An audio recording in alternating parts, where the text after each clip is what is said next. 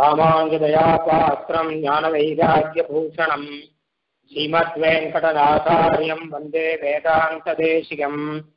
लक्ष्मीनाथ वेदान्तदेशिकम् नाथयामुन मध्यमा अस्मदाचार्यपर्यता वंदे गुरुपरम्पराम् यो नित्यमच्युतपदाम्बुज युग्मरुक्मव्यामोहतस्तदितराणि तृणा मेने अस्मद्गुरोर्भगवतोऽस्य सिंधो रामानुजस्य चरणौ शरणं प्रपद्ये।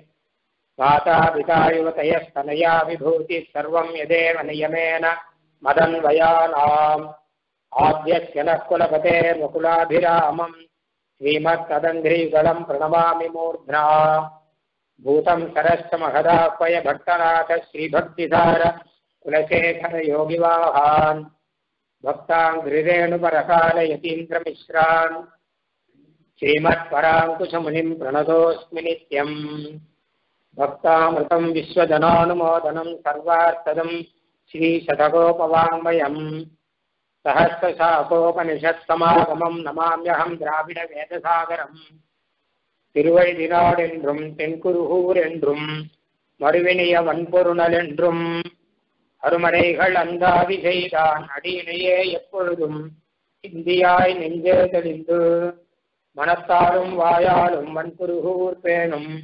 இனத்தாரை எல்லாதிரைஞ்சேன் தனத்தாலும் ஏதும் குறைவிலேன் எந்த சடகோபன் பாதங்கள் யாமுடைய பற்று. ஏந்த பெரும் கீர்த்தி ராமானுஜமுனிதன் வாய்ந்த மலர்பாதம் வணங்குகின்றேன். ஆய்ந்த பெரும் சீரார் சடகோபன் செந்தமிழ் வேதம் தரிக்கும் பேராது உள்ளம் பெறா. வான் திகழும் சோலை மதுளரங்கர் வன்புகழ் வேல் ஆன்ற தமிழ்மறைகள் ஆயிரமும். ஈன்ற முதல் தாய் சடகோபன் வைம்பால் வளர்த்த இதத்தாய் ராமானுகன் மிக்கவிரை நிலையும் மெய்யாம் உயிர் நிலையும் அக்கநெறியும் தடையாகி துத்தியரும் ஊர்வினையும் வாழ்வினையும் ஓதும் குருவையர்கோன் யாழினிசை வேதத்தியல். ஸ்ரீமன்னாத முனீந்திர வம்சயதிராடத்தீந்து தற்பிரேரித श्रीमच्छ्रीकुरुकेशकृत्तशठजिद्वेदान्तभाष्यम् शुभम्। श्रीरङ्गेशकृताज्ञया श्रुतिशिरसूर्युक्तधारक्रमात् व्याकुर्वन्निगमान्तलक्ष्मणमुनिर्दत्ताम् मुनिर्दत्ता निर्मलाम्। श्रीमान् वेङ्कटनाथार्यः कवितार्किककेसरी वेदान्ताचार्यवर्यो मे सन्निधत्ताम्। पदा पितामह पितामह सुतम् वरेण्यम् षटगोपसूक्तेः सहस्रशत्सङ्ख्यकभाष्यकारम् सठादिनामानमहम् प्रपद्ये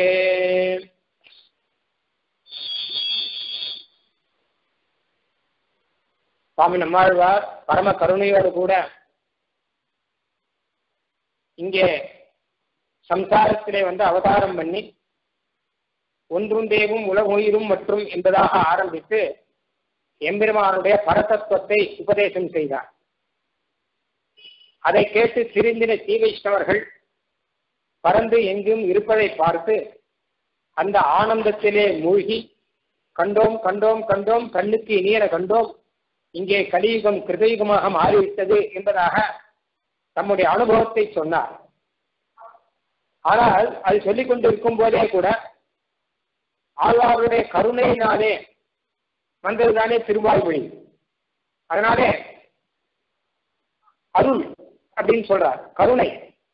அருள் கொண்டாலும் அடியவர் என்கிற அருளினால் அவ்வருமறையின் பொருள். அருள் கொண்டு ஆயிரம் இன்தமிழ் பாடினான் என்பதாக மதுரை ஆழ்வார் சாதிக்கிறார்.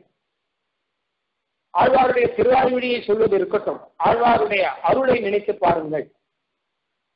அருள் கொண்டு ஆயிரம் இன்தமிழ் பாடினான் அருள் கண்டீர். இவ்வுலகினில் மிக்கதே. இந்த லோகத்துல இதை காட்டிலும் பெரிய விஷயம் எதுவும் இருக்க முடியாது. நம்மாழ்வாருடைய கருணை என்பதை காட்டிலும் பெரிய விஷயம் எதுவும் இருக்க முடியாது. ஏனென்றால் தான் யோகத்திலே எம்பெருமானை சாட்சா்காரம் பண்ணக்கூடியவர் தான் தன்னுடையது இருக்கட்டும் என்பதாக விடாமல் அந்த அனுபவத்தை நமக்கும் கொடுக்கணும்னு ஆரம்பித்தவர். ஆழ்வாருடைய நிலையை நினைத்து பார்த்தா அவர் வேற யாரோடையும் பேசக்கூடாது. எல்லாரையும் பார்க்கக்கூடாது. சம்சாரத்தை பார்க்கக்கூடாது. ஏன்னா சம்சாரத்தை பார்க்கிற நிலையிலே அவர் இல்லை. அவர் யோக நிலையிலே இருக்கார். சம்சாரத்துல பேசக்கூடாது. ஏன்னா பேசுற நிலையிலே அவர் இல்லை. எம்பெருமானை மட்டுமே ஸ்தோத்திரம் பண்ற நிலையிலே அவர் இருக்கார். அப்படிப்பட்ட மகாஜானியாக மகா அவதார புருஷராக இருக்கக்கூடியவர் நம்மையும் விடக்கூடாது என்பதற்காக ஒன்றுமே இல்லாத ஜனங்களுக்கு கூட ஒன்றும் தேவம் உபதேசம் பண்றார். ஒன்றும் தேவ உபதேசம் யாருக்காவது ஒரு சுலபமா கிடைச்சிருவான் அது பாமர ஜனங்களுக்கு கூட இன்னைக்கு கிடைச்சிருக்கு அப்படின்னா அது வேதம் சொல்லக்கூடிய அர்த்தம். கொஞ்சம் யோசிச்சு பார்ப்போம். ஒன்றும் தேவும் உலகம் உயிரும் மற்றும் யாருமில்லா அன்று நான்முகன் தன்னோடு தேவருலகோடு உயிர் படைத்தார் என்கிற விஷயம் வேதம் சொல்கிற விஷயம். இங்க ந பிரம்மா நேசானகா நேவே துவாகாபிருத்தி ஒன்றுமில்லை ஏகோகவை நாராயணாதி. ந பிரம்மா நேசானகான் வேதம் எடுத்து சொல்லக்கூடிய விஷயம். அதை யார் வேதாபியாசம் பண்ணி வேதாபியாசம் பண்ணாருக்கே புரியல அது. வேதாபியாசம் பண்ணி சாஸ்திராபியாசம் பண்ணி அதை புரிந்து கொள்ளக்கூடியவர்கள்ங்கிறது எத்தனையோ கோடிகள்ல ஒருத்தர் அப்படின்னு இருக்கும்போது இன்னைக்கு எத்தனை பேர் ஒன்றும் தெய்வம் சொல்லிட்டு இருக்கோம்? அதே விஷயத்த. எத்தனை ஆயிரக்கணக்கானவர்கள் இன்னைக்கு நம்மாழ்வார் இந்த விஷயத்தை சொன்னபடினாலேயே நாம் வேதம் சொல்லக்கூடிய அந்த விஷயம் வேதாத்திய வேதாத்தியனம் பண்ணக்கூடியவர்களே சில பேர் தான். அதுவே எத்தனையோ குறைவு. அதிலும் அந்த தாற்பயத்தை சாஸ்திரம் படித்து புரிந்து கொள்ளக்கூடியவர்கள் சில பேர் தான். அதுலேயும் பலவிதமான சாஸ்திரங்கள் வேதத்துக்கு வியாக்கியானம் பண்றேன்னு இருந்துட்டபடினால இவன் நாராயணே பரதத்துவம் அப்படிங்கிறது சொல்லக்கூடிய சாஸ்திரத்தில் அது சில தான் கிடைக்கும். எல்லாருக்கும் கிடைக்கல. அப்படி இருக்கும்போது இன்னைக்கு எத்தனையோ ஆயிரக்கணக்கானவர்களுக்கு இது கிடைச்சதுக்கு காரணம் நம்மளுடைய கருணை தான் காரணம். வேதம் சொன்ன அர்த்தத்தை தமிழிலே எல்லாருக்கும் புரியும்படியான தமிழிலே நான் உங்களுக்கு சொல்லுகிறேன் கேளுங்கள் அப்படின்னு உபதேசமாக ஆழ்வா தான் யோகனிஷ்டரா இருந்தாலும் அருளி செய்தான் காரணம். அதனால அருள் கொண்டு ஆயிரம் என் தமிழ் பாடினான் அருள் கண்டீர் அவர் பாடவே கூடாது. பாடினான். அதுவும் தமிழில் பாடினான். அதுவும் ஆயிரம் என் தமிழ் பாடினான். அவனுடைய அருளை பாருங்கள் என்பதாக சொல்றார்.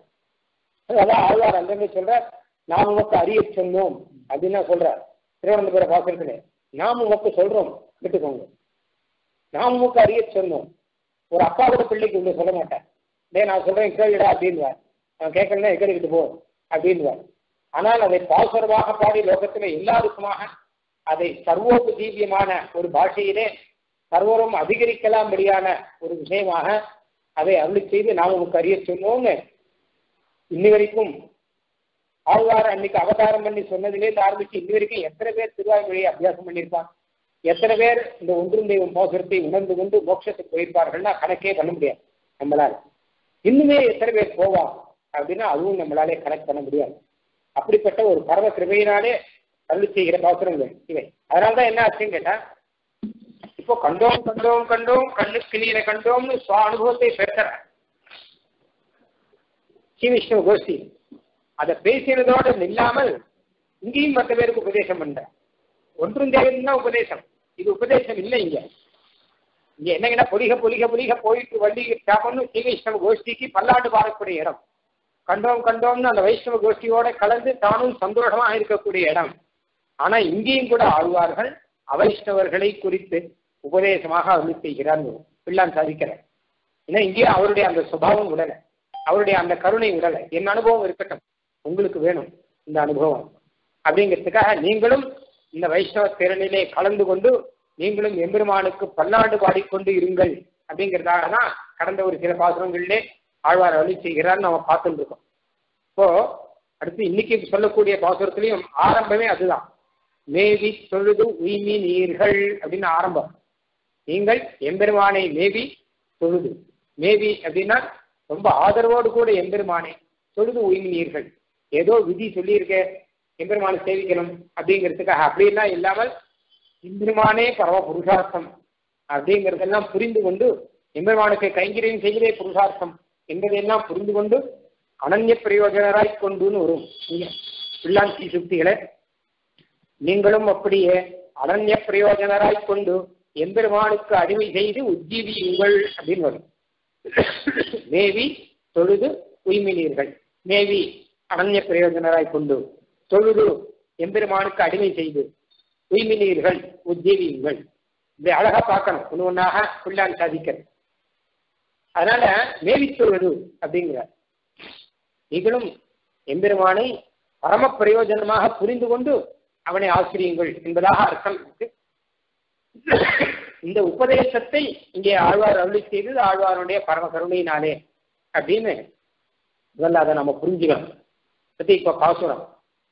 மேவி தொழுது உய்மி நீர்கள் வேத புனித இருக்கை நாவில் கொண்டு அச்சுதன் தன்னை ஞானவிதி பிழையாமே. பூவும் புகையும் விளக்கும் சாந்தமும் நீரும் மலிந்து நேரித்தொழும் அடியாரும் பகவரும் மிக்கது உலகே. இந்த உலகத்திலே எத்தனையோ அடியவர்கள் இருக்கிறார்கள். எத்தனையோ பகவர்கள் இருக்கிறார்கள். அடியவர்கள் என்றால் எம்பெருமானுக்கு கைங்கரியம் செய்யக்கூடியவர்கள். பகவர்கள் என்றால் எம்பெருமானுடைய தியானத்திலேயே மூழ்கி மானச தியானத்திலேயே மூழ்கி இருப்பவர்கள். இவர்கள் சாமானியமானவர்கள் அல்ல. எம்பெருமானையே மேவி தொழுது இருப்பவர்கள். அவனையே பரவ புருஷார்த்தமாக இன்றி அவருக்கு கைகரியம் செய்து கொண்டு இருப்பவர்கள் அவர்கள் வேத புனித இருக்கை. வேதத்தில பல விஷயங்களை சொல்லபடியினாலே மிகவும் பாவனமாக இருக்கக்கூடிய இருக்கு மந்திரங்களை தன்னுடைய நாவிலே வைத்து அச்சுதனான பகவானை பக்தி மார்க்கம் தப்பாமே கைங்கரியம் செய்பவர்கள்.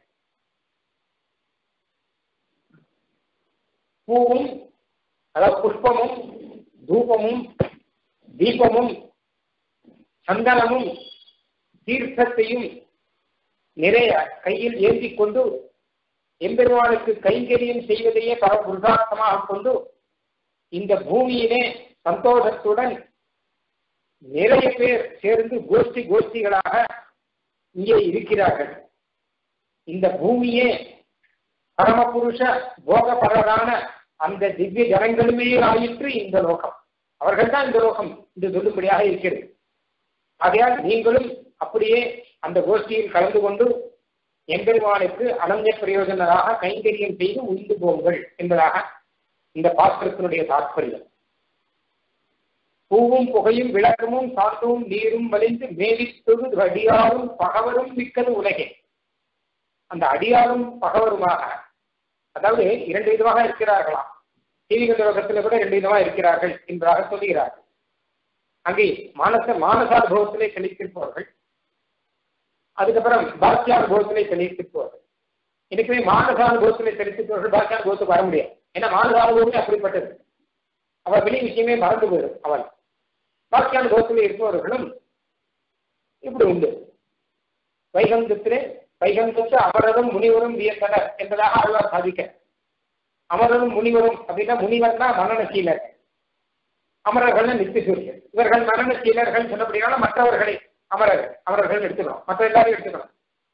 அதனால மனநசீலர்களாகவும் மனநசீலர்கள் இல்லாமல் கைங்கரிய நிஷ்டர்களாகவும் இருக்கக்கூடியவர்கள் எல்லாம் வியந்தனர் என்பதாக அங்கே ஆழ்வார் வந்து செய்கிறார். அதே மாதிரி இங்கேயும் திருப்பாடலையும் சொல்லும் போது இங்கே மெல்ல இருந்து அறிகின்ற பேரறம் சொல்லக்கூடிய முனிவர்கள் அவர்களை சொல்லும் போது வெள்ளை விழிசெங்கின் பேரறம் கேட்கலையோ? உள்ளும் சிலம்பினகால் புள்ளரையன் கோயில் வெள்ளை விழிசெங்கின் பேரறம் கேட்கலையோ? கள்ள வெள்ள வேங்குடை நஞ்சுண்டு கள்ளத்தரம் கலர்வன் கலவத்தி வெள்ளக்கருவில் பெயர்வந்த வித்தினை உள்ளத்துக் கொண்டு முனிவர்களும் யோகிகளும் என்பதாக சொல்றார். முனிவர்களும் யோகிகளும் சொல்வோம் முனிவர்கள்னா மனம் கீழர்கள் யோகிகள்னா கைக்கறி யோக நிஷ்டர்கள் என்பதாக அர்த்தம். அதனால அடியார்களிலே இரண்டு விதம் உண்டு. அந்த இரண்டு விதமான அடியார்களை அடியரும் பகவரும் என்பதாக சொல்றார். பகவர்னா பகவான்கள் என்பதாக அர்த்தம். எம்பெருமானுடைய அனுபவத்தை யார் பெற்று இருக்கிறார்களோ அவர்களை எல்லாம் பகவான்கள் என்பதாக சொல்லுகிற ஒரு வழக்கம். சுவாமி தேசிகன் சொல்றார். அப்போ பகவானே எம்பெருமான் மட்டும்தான் சொல்லணும். வேற யாரையும் சொல்லக்கூடாதுன்னு விஷ்ணுபுராணம் ஆனா கூட அந்த பகவத் கடாட்சம் பெற்றவர்களே விசேஷமாக பகவான் அப்படின்னு சொல்றது பகவத் பிராமணர் அப்படின்னும் வியாச பகவான் அப்படின்னும் இதெல்லாம் சொல்றது உண்டு. சுவாமி ராமானுஜன் எழுதியிருக்கும் போதே அவருக்கு பகவத் ராமானுஜர் அப்படின்னு திருநாமம். இது பகவத் ராமானுஜ விரச்சித்தே ஸ்ரீபாஷ்யம் தான் வரும் ஸ்ரீபாஷ்யத்தை அந்த மாதிரி ரீதியில ஆழ்வார் வந்து வைஷ்ணவ சம்பத்து நிறைய இருக்கிறவர்களை பகவானே சொல்றார் இங்க. அப்படி இருக்கக்கூடிய அடியரும் பகவரும் மிக்கது உலகே. இந்த லோகத்தில் அவர்கள் தான் விஜாத்தி அப்படிங்கிறபடியாக இருக்கான். நிறைய பேர் இருக்காங்க. அதான் பிள்ளான் சாதிக்கும் போது திவ்ய ஜனங்களிலே அழைத்து எம்பெருமானுக்கு அடிமை செய்கிற பரிஜனங்களும் பரமபுருஷ குண சேஷ்டித அனுபவிக்க போகங்களான திவ்ய ஜனங்களுமே ஆயிற்று இந்த லோகம். இந்த லோகம் முழுக்க இவர்கள் தான். வேற யாருமே கிடையாது. இது சொல்லும்படியாக ஆழ்வாருக்கு அப்படி ஒரு காட்சி அப்படி ஒரு அனுபவம். முன்னாடியே சொன்னேன். நாமும் கூட சில திவ்ய தேசங்களிலே எல்லாம் போனோமானால் வேற யாருமே இல்லை என்பதாக நமக்கு ஒரு அனுபவம் கிடைக்கும். மொத்தமும் நம்ம சீவித்தவர்களே இருக்கும்படியாக ஒரு அனுபவம் ஒன்று நமக்கு கிடைக்கும். ஆனால் எனக்கு தெரிஞ்சவர் ஒருத்தர் கூட இருக்கக்கூடியவர். அவர் சாதாரணமானவர். எங்க காரியாலயத்துல ஆபீஸ்ல வேலை பண்றவர். நாங்கள் சம்ஸ்கிருத விவாதத்தில் இருக்கோம். அவர் வந்து ஹிஸ்டரி விவாதத்தில் இருக்கார். அவர் ஒரு சமயம் ஹிஸ்டரியில் ஒரு காரியத்துக்காக ஸ்ரீரங்கம் போயிட்டு வந்தார். அப்போ போகும்போது சொன்ன நான் வந்து ஸ்ரீரங்கம் போகிறேன் ரங்கநாதன் கோயிலுக்கும் போகிறேன் எனக்கு ஏதாவது இருந்தால் சொல்லுங்க. அப்படின்னா இந்த இடமெல்லாம் பார்க்கணும் அதெல்லாம் சொல்லி அனுப்பிச்சேன் அவர் அங்கெல்லாம் போயிட்டு வந்துட்டு அதுக்கப்புறம் இங்கே வந்தப்பறம் அவர் என்ன சொன்னான்னு கேட்டால் எனக்கும் கொஞ்சம் போய் ஸ்ரீரங்கம் போயிருக்கணும்னு ஆசையாக இருக்கு. அப்படின்னு. ஏன் என்ன காரணம் அப்படின்னா அங்கே போனால் சம்ஸ்கிருதம் வந்துடும் சார் சம்ஸ்கிருதம் வந்துடும். அது மாத்திரம் இல்லாமல் அங்கே எல்லா விஷயமே தெரிஞ்சிடும். வேதம் புராணம் இத்திகாசம் மொத்தமே வந்து தோன்றது எனக்கு. அதனால நீங்க ஸ்ரீரங்கத்தில் வரும்போது நாம நான் ஸ்ரீரங்கத்தில் தான் இருந்தேன். நாம போய் கொஞ்ச நாள் இருந்தா போதும். எல்லாம் அங்க இருக்கிற சூழ்நிலையே அப்படிதான் இருக்கு. மொத்தமும் வந்துடும் போல இருக்கு அப்படிங்கிற. அதனால அவர் சீரகத்துல என்ன கிரகிச்சாங்க ரங்கநாதன் தெரிவிக்கிறதா இருக்கட்டும்.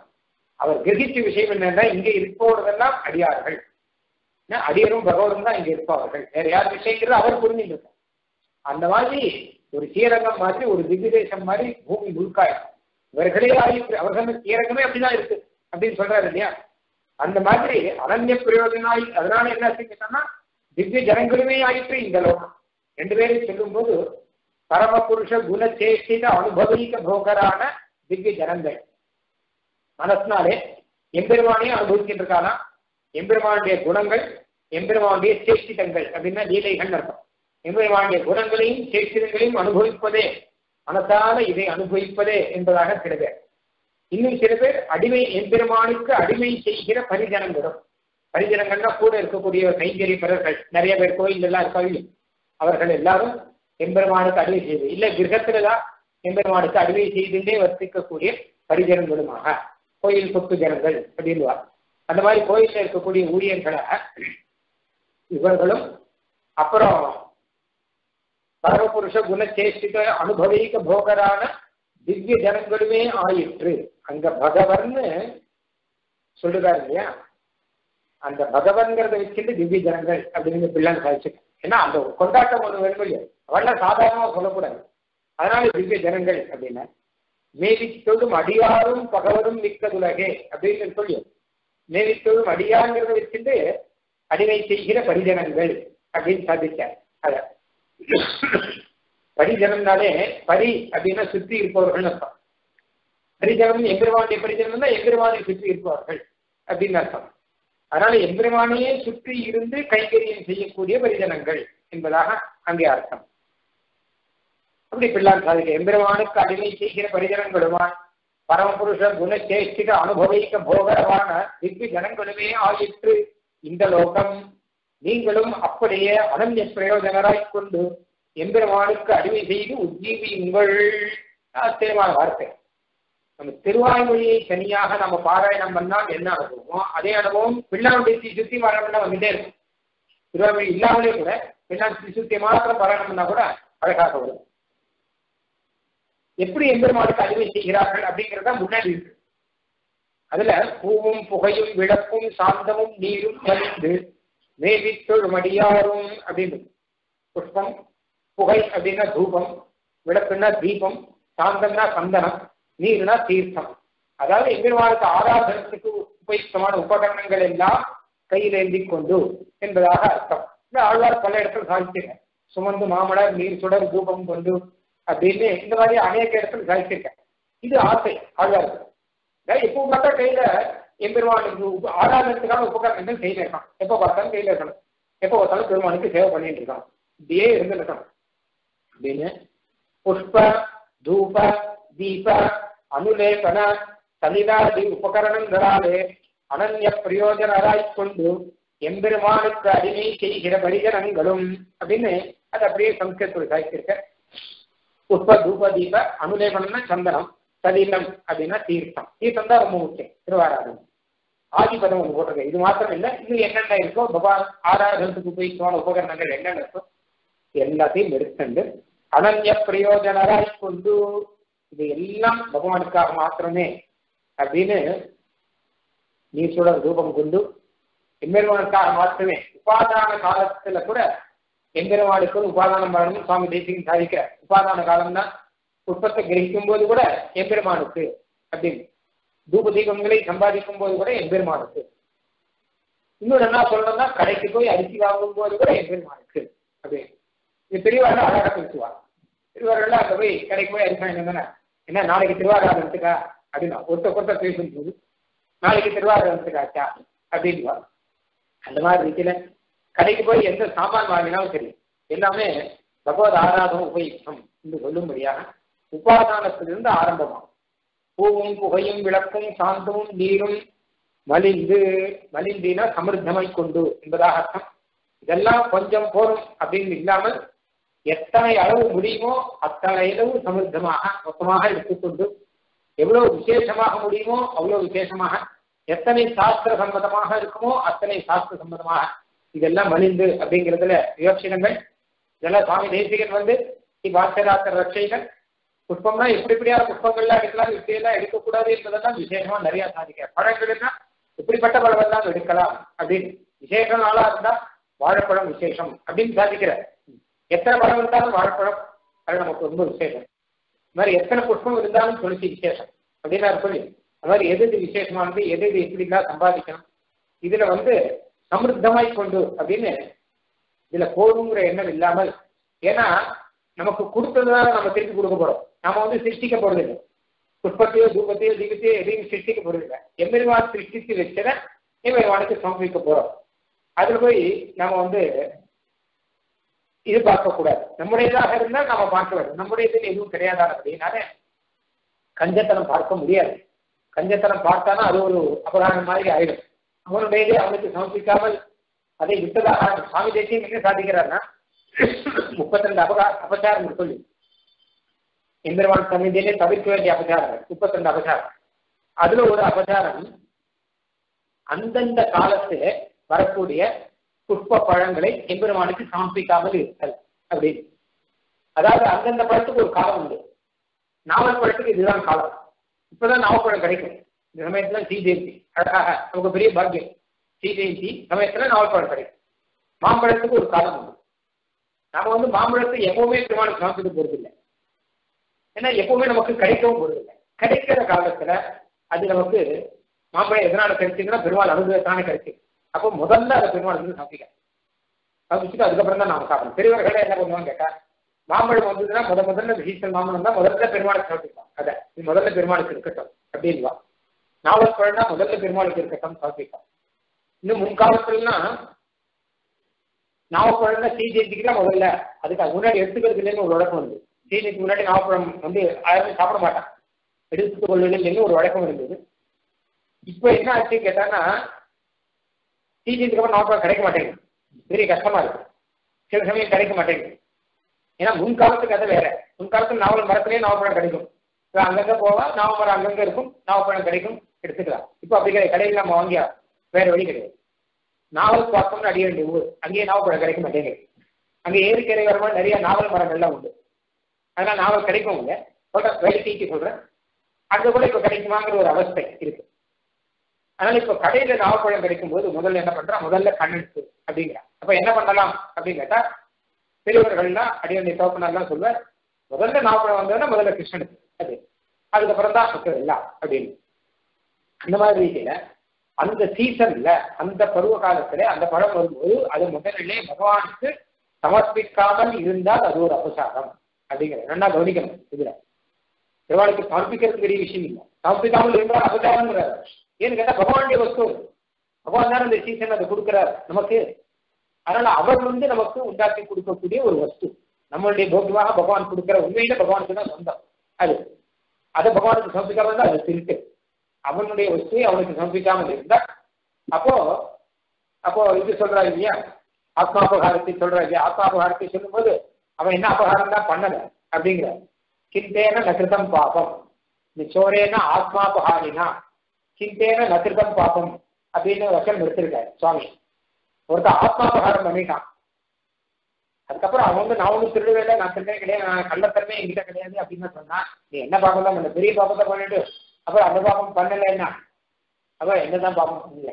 அப்படிங்கிற அதாவது என்ன கேட்டா ஆத்மாபகாரியா இருக்கிறவன் நான் எதையும் திருட மாட்டேன் நான் ஆபீஸ்க்கு திருட மாட்டேன் நான் அனுபவம் எதையும் திருட மாட்டேன் அப்படின்னு சொல்லி பிரயோஜனம் இல்லை.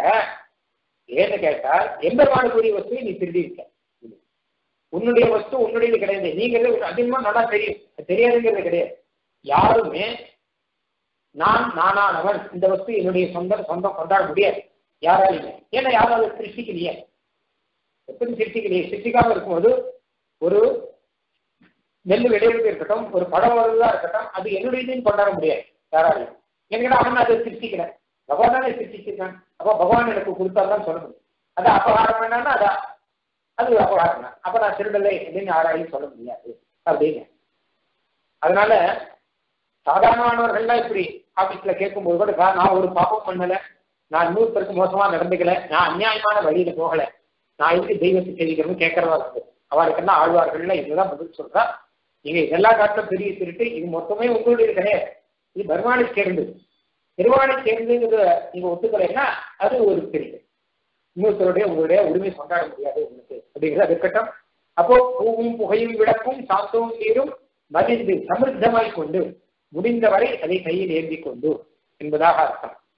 மேவித்தலும் அது ஆறும் அதுக்கப்புறம் ஞான விதி பிழையாமே முன்னாடி ஞான விதி பிழையாமே அப்படிங்கிறதுக்கு பிள்ளார் வந்து பக்தி மார்க்கம் தப்பாமே அப்படிங்கிற ஞான விதி அப்படின்னா வேதத்திலே சொன்ன ஞானம்ங்கிறது சேமிஷி பக்தி ரூபா அப்படின்னு சொல்லப்பட்ட ஒரு ஞானம். எம்பெருவானுக்கு இதையெல்லாம் சமர்ப்பிக்கணும் சொல்லக்கூடிய பக்தி ரூபமான ஒரு ஞானத்தை இங்க சொல்ற ஞான விதி அதை தப்பாமே செய்யணும். அதாவது வெறும் ஞானம் அப்படின்னு இல்லாமல் பக்தி ரூபமான ஞானத்தை அவர்கள் வைத்துக் கொண்டு எம்பெருமானுக்கு எல்லாவற்றையும் சமர்ப்பிக்கிறார்கள் என்பதாக அர்த்தம். வேத புனித இருக்கை நாவில் கொண்டு அச்சுதன் தன்னை எம்பெருமானை இப்படி மேவித்தொழும் அடியாரும். அச்சுதந்தனைங்கிறது மேவித்தொழும் அடியாரும் செய்யணும். அச்சுதனா நம்மை கைவிடாதன்னு அர்த்தம். அதாவது நாம் ஒரு ஒன்று சமர்ப்பிச்சோம்னா அதை கட்டாயம் ஞாபகம் வச்சிருந்து நமக்கு எத்தனையோ விதமான பலன்களை எல்லாம் கொடுக்கக்கூடியவன் என்பதாக அர்த்தம். ஒரு நாளும் கைவிடாதவன் என்ற அர்த்தம். அவர்கள்லாம் என்ன பண்றாளா வேதத்தை நாவில் கொண்டு நாக்கில வேதத்தை வேத மந்திரங்கள் வேத புனித இருக்கை இருக்குன்னா இருக்கு இருக்குன்னா மந்திரம். புனிதம் புனிதமான பாவனமான வேதத்திலே சொல்லப்பட்ட பாவனமான ரிக் மந்திரங்களை நாவில் கொண்டு தம்முடைய நாக்கிலே வைத்துக் கொண்டு. புஷ்பங்கள் சமர்ப்பிக்கும் போது வெறும் புஷ்பமாக இல்லாமல் மந்திர புஷ்பமாக சமர்ப்பிப்பார்கள். தூபத்தை சமர்ப்பிக்கும் போது வெறும் தூபமாக இல்லாமல் மந்திரத்தை சொல்லிக்கொண்டு சமர்ப்பிப்பார்கள். நமக்கு எல்லாருமே மந்திரம் உண்டு. மந்திரத்தை சொல்லிக்கொண்டு சமர்ப்பிப்பார்கள். அதனால் அவர்கள் என்ன பண்றாங்கன்னா இந்த அடியார்களை பற்றி அடியார்களுடைய அனுஷ்டானத்தை பற்றி இவ்வளவு சொல்றாங்க. நாக்கிலே வேத மந்திரங்கள் வைக்கலாம். வேத புனித இருக்கை நாவில் கொண்டு அதுக்கப்புறம் மனசுல என்ன கேட்டா ஞான விதி பிழையான மனசுல பக்தி ரூபாபன்னமான ஒரு ஞானம் மனசுல. பக்தி ஞானங்கிறது மனசுல நிறைஞ்சிருக்கு. வாயில வேத மந்திரங்கள்லாம் இருக்கு. கையில பூவும் புகையும் விளக்கும் சாந்தம் நீரும் மலிந்து அப்படின்னு இதெல்லாம் சமுத்திரம் மொத்தத்தையும் சேர்த்து வச்சுட்டு மேலி தொழும். அனநிய பிரயோஜனராக கொண்டு தொடரக்கூடிய அடியார்கள் இந்த பூமியிலே நிறைந்திருக்கிறார்கள் அப்படின்னு ஆழ்வாருடைய ஒரு ஆச்சரியமான ஒரு அனுபவம் இந்த பாசுரத்தில். அப்படிப்பட்ட பகவரும் இருக்கவில்லையே அப்படின்னு அர்த்தம். இதுல ஞான விதி அப்படிங்கிறத வெறும் ஞானம்னு வேதாந்தத்தால் வெறும் ஞானம் இல்லாம பக்தி ரூபாவட்டமான ஞானம்ங்கிறது அந்த ஜெயகிரி பக்தி ரூபான்னு எம்பெருமானவர் சொன்னது அடிவெற்றி பிள்ளாடுகள் வந்து அழகா. ஏன்னா தத் ஞானம் அஜ்ஞானம் மட்டும் டிஸ்டங்கிறார் ஞானம்னா இதுதான். மற்றதெல்லாம் அஜ்ஞானங்கிறார் மற்ற எந்த ஞானம் இருந்தாலும் அது அஜ்ஞானம். இது உபநிடத்திலே சொல்லப்பட்ட ஞானம் இதுதான் ஞானம் அப்படிங்கிற மாதிரி ஞானம் சொன்னாலே பக்தி ரூபவர்ணமான ஞானம் தான் ஞானம். மற்றது ஞாபகமாக இருக்க முடியாது என்பதாக ஆயிற்று. அதனால அழகா இத பிள்ளான் சாதிக்கிறாங்க. பக்தி மார்க்கம் தப்பாமே எல்லா வியாக்கியானத்திலும் இந்த விஷயம் இருக்கு. வேத புனித இருக்கை நாவில் கொண்டு அப்படின்னு சொல்லி அதுக்கு பிள்ளான் சாதிக்கிற பகவத் ஸ்வரூப ரூப குண விபூதி பிரதிபாதகமாய் பரிசுத்தமான இருக்குகளை சொல்லிக் கொண்டு அப்படிங்கிற நல்ல மந்திரங்களை எல்லாம் வாயிலை சொல்லிக் கொண்டு இருக்குகள்லாம் பரிசுத்தமான இருக்கா? புனித இருக்கு. இருக்குதான் இருக்கு அப்படின்னு தமிழ்ல வந்து ஏன் பரிசுத்தமானது? எப்படி பரிசுத்தமானது அப்படின்னா பகவத் ஸ்வரூப ரூப குண விபூதி பிரதிபாதகமாய் பரிசுத்தமானது. இது வேதங்கிறதுக்கு அர்த்தம். வேதம்னா வேதயதி அறிவிப்பது என்பதாக அர்த்தம். அதனால அதுக்கு வேதம் எதை அறிவிப்பதுன்னா பகவானுடைய ஸ்வரூப ரூப குண விபூதிகளை அறிவிக்கிறார்களே பரிசுத்தமானது. லோகத்துல எத்தனையோ சப்தங்கள் எல்லாம் இருக்கு. ஆனால் அது எல்லாமே ஏதோ ஒன்று அறிவிப்பு அறிவிப்பதற்கு தானே சப்தங்கிறது இருக்கு. சப்தம்னு சொன்னாலே வா சப்தன வாக்கியம் இருக்கும் வாக்கியம்னு சொன்னாலே ஏதோ ஒரு விஷயத்தை சொல்றதுக்கு தானே வாக்கியம் அப்படிங்கிறது இருக்கு. இது வேதம்ங்கிறது புனித வாக்காக இருக்கு அப்படின்னு நம்ம தலையில தூக்கி வச்சு கொண்டாடுவதற்கு காரணம் இது பகவத் சுரூப ரூப குண விபூதிகளை எல்லாம் மொத்தத்தையும் சொல்லப்படினால்தான் வேதம்ங்கிறது வேதம். வேதத்தை அவ்வளவு சிரேஷ்டமா சொல்றதுக்கு காரணம். வேதத்தை சாதாரணமாக பார்க்கக்கூடியவர்கள் சில பேர் இருக்கா மேநாட்டவர்கள் வெளிநாட்டுக்காரர்களா கல்வி அவர் சொன்ன வேதத்தை எடுத்து பார்த்து அவரும் ஆச்சரியப்படுற ஆஹா வேதத்துல எத்தனை விஷயம் இருக்கு? அப்படின்னா சயின்ஸ் சொல்ற விஷயங்கள்லாம் வேதத்துல இருக்கு. அந்த காலத்திலேயே எவ்வளவு ஜாகிரதையா இருக்கு. அந்த காலத்திலேயே எவ்வளவு மெடிக்கல் சயின்ஸ் எல்லாம் இருக்கு. வேதத்தை பார்த்தா தெரியுது. கிருத்ரோகம் அப்படின்னு கிருத்ரோகத்தை பத்தி சொல்றது. க்ஷயரோகம் அப்படின்னு க்ஷயரோகத்தை பத்தி சொல்றது. அப்போ medicine in Veda science in Veda அப்படின்னு பார்த்தா அவன் உண்மையிலேயே ஆச்சரியப்படுறான் நம்பர் நியூமராலஜி அப்படின்னு வேதத்துல இருக்கிற மாதிரி எங்கேயுமே இல்லை. ஆதி காலத்துல வேதத்துல தான் இருக்கு. இதெல்லாம் அவரு சொல்றான் மற்ற பேரும் சொல்லிட்டு இருக்கான் அப்போ பார்த்தோம்னா வேதம் அப்படின்னா அறிவிக்கக்கூடியது அப்படின்னு புதிய விஷயத்தை தகவல்களை நமக்கு தரக்கூடியது அப்படின்னு ஆனா அப்படி மாத்திரம் வேதத்தை பார்க்கக்கூடாது. வேத புனிதம் அப்படிங்கிற. இது இது புண்ணியமானது பாவனமானது. என்ன கேட்டா பகவத் சுரூப ரூப குண விபூதி பிரதிபாதகமாய் பகவானுடைய சுரூப ரூப குண விபூதிகளை எல்லாம் சத்தத்தையும் சொல்றது இது. வெறும் அதோட மாத்திரம் வேதத்தினுடைய இது நின்று போற போகல. வேதத்தினுடைய பரம தாத்பரியங்கிறது இதெல்லாம் சொல்றதுங்கிறது இல்லைங்கிற இது மொத்தமே இருக்கு வாஸ்தவம் தான் எத்தனையோ மருந்துகள் வேதத்தில் தான் இருக்கு. எத்தனையோ நம்பர்கள் கூட வேதம் தான் முதல்ல சொல்லிட்டு இருந்தா எல்லாமே வெளிநாட்டுக்காக சொல்லியிருக்காங்க. தீர்மானமா சொல்லியிருக்காங்க. ஒரு சந்தேகமா தான் சொல்லல. தீர்மானமா சொல்லியிருக்கேன் மேத்தமேட்டிக்ஸ்ல வேதம் தான் ஃபர்ஸ்ட் அப்படின்னு சொல்லிருக்காங்க அதெல்லாம் இருக்கு வாஸ்தவம் தான் ஆனால் ஆழ்வார் என்ன சொல்றாருன்னா அதெல்லாம் வேதம் சொல்லும் போது எம்பெருமானுடைய விபூதியா சொல்றது மொத்தமும். இப்படிப்பட்ட சிருஷ்டி இருக்கு. இப்படிப்பட்ட ஆச்சரியங்கள்லாம் இருக்கு.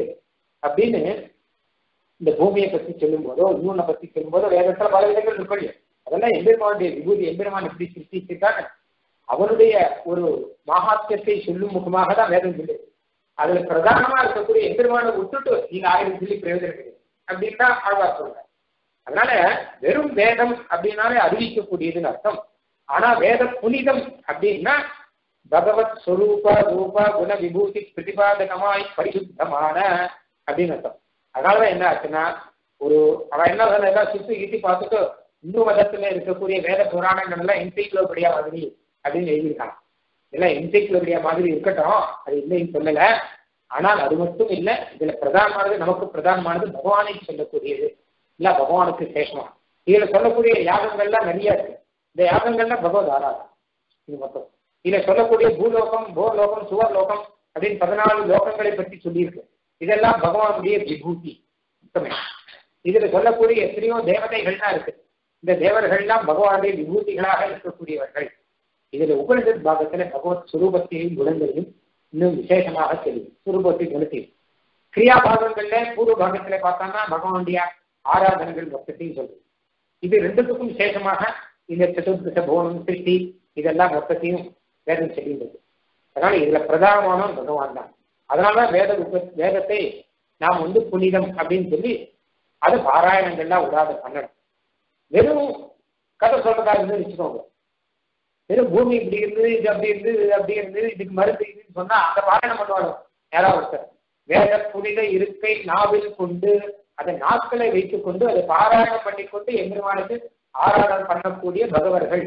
அப்படின்னா அப்படிப்பட்ட மகா யோகிகள் அவர்கள் தான் இருக்கான்னு சொல்லும்போது இது அத்தனை பாவனமானது ஏன்னா மட்டுமே எம்பெருமானுடைய இதை சொல்றதுங்கிறதுனால்தான் வேதத்துக்கு ஒரு பாவனத்துவம் கிடைக்கிறது என்பதாக வேத புனித இருக்கை அப்படின்னு ஆழ்வார் வியாக்கியானம் பண்றார். பகவத் அப்படிலாம் வியாக்கியானம் சாதிக்கிறார் பகவத் ஸ்வரூப ரூப குண விபூதி பிரதிபாதகமாய் பரிசுத்தமான ருக்குகளை சொல்லிக் கொண்டு பக்தி மார்க்கம் தப்பாமே புஷ்ப தூப தீபானுலேபன செலிலா உபகரணங்களாலே அனன்ய பிரயோஜனராய் கொண்டு எம்பெருமானுக்கு அடிமை செய்கிற பரிஜனங்களும் பார்க்கணும். இந்த இந்த வாக்கியத்தை கேட்கும்போதே அச்சின் எப்படிப்பட்ட ஒரு அடிமை கைங்கரியம் இதை பார்க்கும்போது என்ன ஞாபகம் வரும்னு கேட்டா எத்தனையோ மகான்கள் காஞ்சிபுரத்துல வேதபாராயணம் பண்றாங்க. காஞ்சிபுரத்துல திருமலையில திரேதிபுரத்துல இன்னும் சென்னையில இங்க இங்க எம்பெருமானுக்கு கைங்கரியம் பண்ணக்கூடிய மகான்கள் வேதபாராயணம் பண்ணக்கூடிய மகான்கள்லாம் இருக்கா? நல்லா யோசிச்சு பார்த்தோம்னா முன்னாடியும் இருந்தா இப்பவும் கைத்தறி பண்ற மகான்கள் இருக்கா நன்னா யோசிச்சு பார்த்தான்னா பிள்ளாங்க ஸ்ரீ சுத்திகளை பார்த்துட்டு அப்படியே வரும். என்ன கேட்டா பரிசுத்தமான ரிக்குகளை சொல்லிக் கொண்டு அப்படின்னா இருக்கா பக்தி மார்க்கம் தப்பாமே. பெருமாடத்தவர் வேற எதுக்கும் போக மாட்டான். வேற எங்க போய் இன்னொரு இடத்துல போய் நீ அங்க போய் பாராயணம் பண்ணி இங்க போய் பாராயணம் பண்ண மாட்டான். காஞ்சிபுரத்தில் இருப்பாரு கூட்டாங்க எங்களுக்கு இன்னைக்கு புறப்பாடு இருக்கு. நாங்க முடிஞ்சா வரும். எங்களுக்கு இன்னைக்கு புறப்பாடு இருக்கு. எங்களால வர முடியாது. கோடி ரூபாய் கொடுத்தா கூட அப்படின்னு சொல்லிட்டு இருக்காங்க பாவம். அப்போ வந்து ஜீவனத்துக்கு வேற ஏதாவது புறப்பாடு இல்லாத நாளில் கூட்டாங்க வச்சுக்கோங்க. அப்போ வந்து பகவானை கொடுத்தது. பகவானை கொடுத்தது உபேட்சை பண்ணக்கூடாது. அயத்தனா ஆதகம் சேவியம் அப்படின்னு இருக்கு. பெருமாளே சுவாமி தேசியன்னு சொல்றாரு. பெருமாளே ஒரு விற்பியை ஒருத்தனுக்கு கொடுத்து அந்த விற்பியில அவன் இருந்தான்னு வச்சுக்கோங்க. அப்ப அவனை தூஷணம் பண்ணக்கூடாதுன்னு இருக்கான் அவன் தூஷணம் பண்ணா பெருமாள் தூஷணம் பண்ணணும் ஒரு பரம பாகவதனா ஒருத்தருக்கான் அவன் வந்து விற்பிக்காக பெருமாள் கொடுத்த ஒரு வழியை அவலம்பிச்சிருக்கான் இல்லட்டா இல்லட்டா ஆகாரம் கிடைக்கும். அதனால புத்திக்காக பெருமாள் கொடுத்த ஒரு வழியை அவலம்பிச்சிருக்கான்னா அப்ப அவன் தூஷணம் பண்ணக்கூடாது நீ தூஷணம் பண்ணியாதான் பெருமாள் ஏன்னா பெருமாள் தான் கொடுத்துருக்க அவனுக்கும் கொடுத்துருக்காரு. கொடுத்த தூஷணம் பண்ணியாதான் நீ பெருமாள் தூஷணம் ஆனா அப்படி இல்லாமல் இருக்கிறவங்கன்னா நம்ம ஏதாவது சொல்லலாம் சொல்லக்கூடாது. ஏதாவது நிந்திக்கத்தக்கவர்களா இருக்கலாமா இருக்கலாம். ஆனால் அதான் சொல்ற பரிசுத்தமான இருக்குவரை சொல்லிக்கொண்டு பக்தி மார்க்கம் தப்பாவே புஷ்ப தூபதீப அனுமேகம் செல்லா உபகரணங்களாலே வேதபாராயணம் பண்ணி கொண்டிருப்பவர்கள் கூட நித்தியம் அத்தல பெருமாளுக்கு இந்த உபகரணங்கள். ஆனால் கோவில பெருமாளுக்கும் இத்தனை உபகரணங்கள். வெறும் வேதபாரணம் பண்ணவர்கள் கிடையாது இவர்கள்லாம். எம்பெருமாளுக்கு கூடியவருக்கு எந்தெந்த கைங்கரியம் உண்டோ கோயில எல்லாத்தையும் சேர்த்து பண்ணுபவர்கள் தான் மொத்த பேருமே.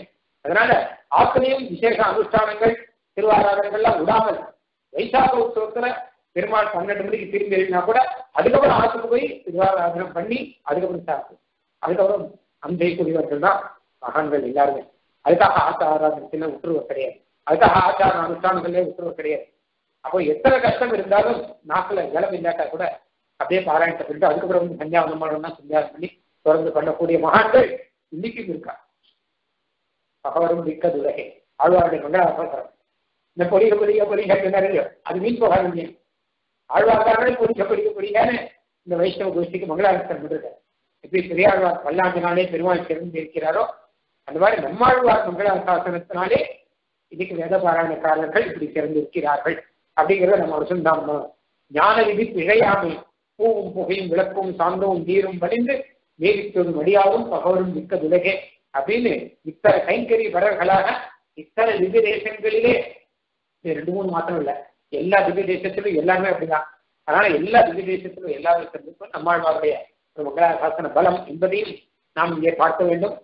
அதனால அப்படிப்பட்ட திவ்ய ஜனங்களுமே ஆயிற்று இந்த லோகம் என்பதாக அவர் செய்கிறார். இந்த இடத்துல ஒரு முக்கியமான ஒரு குறிப்பு ஒண்ணு. பகவத் ஸ்வரூப ரூப குண விபூதி பிரதிபாதகமாய் பரிசுத்தமான ருக்குகளை சொல்லிக் கொண்டு என்பதாக இருக்கு.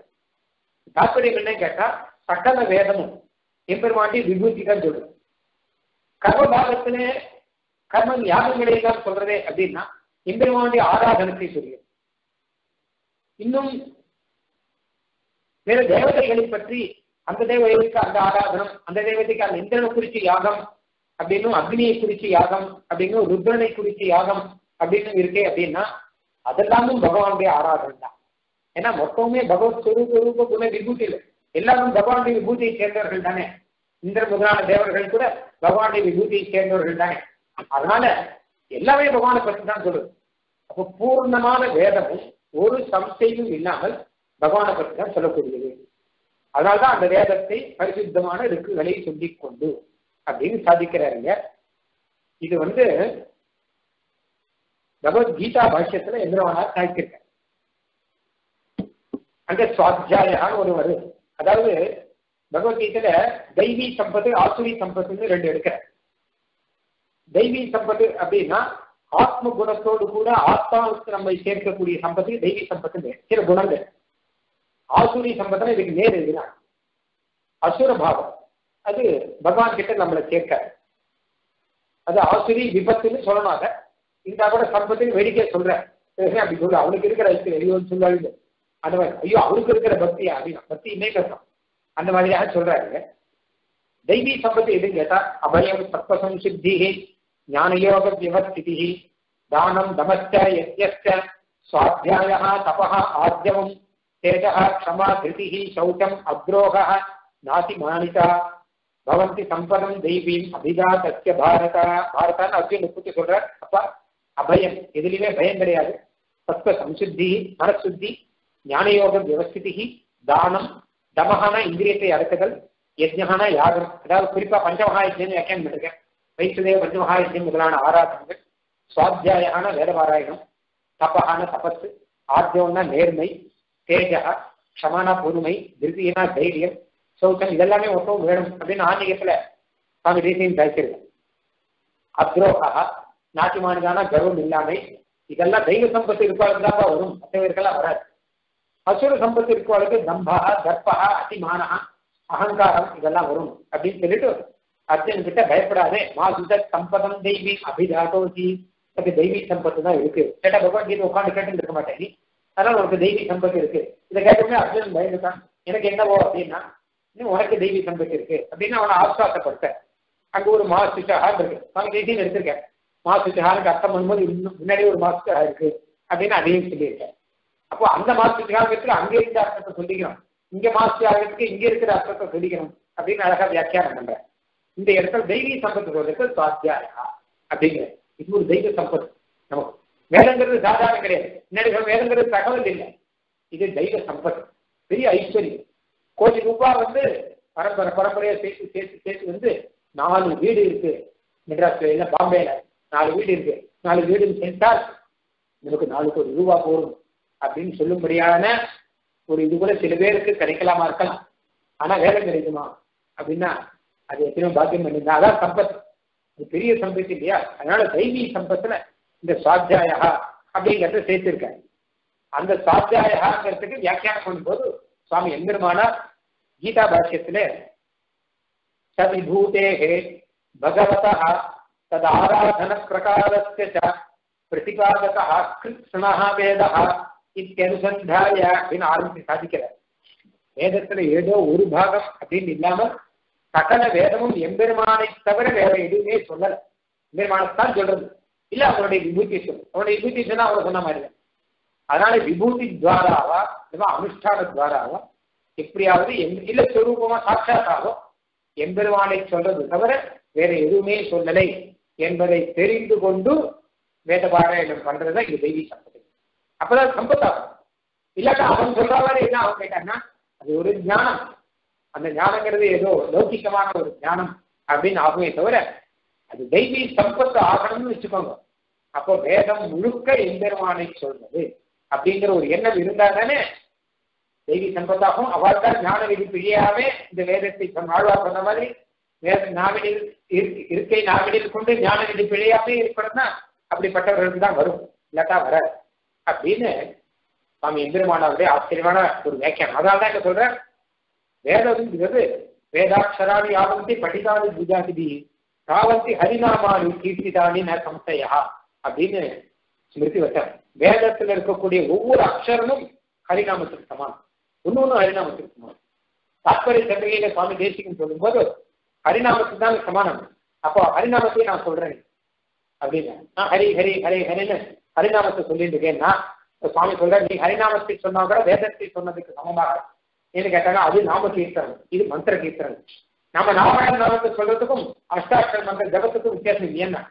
நாமங்கிறது நாமம். அதுக்கான பேரு ஒரு இல்லை. தெரியல ஆனால் அந்த நாமத்தையே நாம் அஷ்டாட்சரத்தில் உட்படுத்தி அப்போ மந்திர ஜபமாக பண்ணும்போது அந்த நியமங்களோட பண்ணும்போது அதுக்கு ஒரு பெருமை அப்படின்னு இருக்கு இல்லையா? அந்த மாதிரியாக காவந்தி ஹரிநாமானே இல்ல. ஹரிநாமாட்டாலும் நாமும் சொல்ற மாதிரி இல்ல வேத மந்திரம் சொல்வதுங்கிறது. இது மந்திரமாக இருக்கிறபடினாலே இதுக்கு ஒரு தனி பெருமை உண்டு. என்பதாக அந்த இடத்துல சாதிக்கிறேன். தத்ரி சொல்லி அதனால தாவந்தி ஹரிநாமணி வேதத்துல முதல்ல ஆரம்பத்துக்கு முன்னாடியே ஹரிஹோம் தான் ஆரம்பம். முடிக்கும் போதும் ஹரிஹோம் தான். இந்த ஹரிஹோங்கிறது இதுவும் வேதத்துல ஒரு பாகம் மாதிரி சொல்லணும் அப்படின்னு சிக்ஷா சிக்ஷா சாஸ்திரம். சிக்ஷா சாஸ்திரங்கிறது வேதம் எப்படி சொல்லணும்னு சொல்றதுக்காக வந்தது.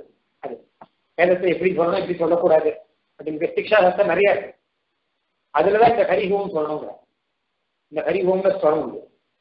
இதுல மாத்திரை உண்டு. ஓம்னா எத்தனை மாசம் ஆரம்பிக்கத்தே இருக்கிற மாத்திரையில பின்னாடி முடிக்கும்போது. ஹரிஹோம் ஆரம்பிக்கத்தே சொல்ற ஸ்வரம் இல்லை பின்னாடி இருக்கக்கூடிய ஸ்வரம் வேற. முன்னாடி இருக்கக்கூடிய ஸ்வரம் வேற. முன்னாடி பிரணவத்துல இருக்கக்கூடிய தீர்க்க கால அளவு வேற. பின்னாடி இருக்கக்கூடிய தீர்க்க கால அளவு வேற. அது மாத்திரம் இல்லாம ஹரிஹி ஓம். சேர்த்தா ஹரி ரோம்னா ஆயிடும் அது இங்க சண்டி கிடையாது. ஏன்னா இந்த மந்திரத்துல அவ சொல்லுது. நம்ம சங்கல்பத்துல ஹரி ரோம் இருக்குன்னு சங்கல்பம். அந்த சந்தியோட கிட்ட ஹரி ரோம்னு சொல்லணும் இங்க அப்படி சொல்லலாமான்னு கேட்டு இது கிடையாது இது மந்திரம் மாதிரி இது. இது எப்படி சொல்லியிருக்கோ அப்படிதான் சொல்லணும். ஹரி ரோம்னு சொல்லக்கூடாது. அது ஏன் சந்தி பண்ணலன்னு சொல்லி ஒரு மொழி. வேற மந்திரங்களா தான் சந்தி வரும். சந்திலாம் மந்திரம் வராது. அப்ப ஏன் இங்க சந்தி பண்ணல? அப்படின்னு கேள்வி ஒரு மொழி. சந்தியெல்லாம் ரொம்ப ஜாக்கிரதையா இருக்கணும். ரொம்ப ஜாக்கிரதையா சந்தி பண்ணணும். அது வந்து ஒரு சமயம் கோஷம் பண்ணும்போது ஒருத்தர் கடைசியில கோவிந்தநாம சங்கீர்த்தனம் அப்படின்லாம் சொல்றாங்க சர்வத்த கோவிந்தநாம சங்கீர்த்தனம் அப்படின்னு அதெல்லாம் சொல்லிட்டு இருந்தா ஒரு கோஷ்டியில. அதுக்கப்புறம் ஓம் நமோ நாராயணாய ஓம் நமோ பகவதே எல்லாத்தையுமே கோஷமா சொல்றான். மந்திரங்களையெல்லாம் சொல்றான்.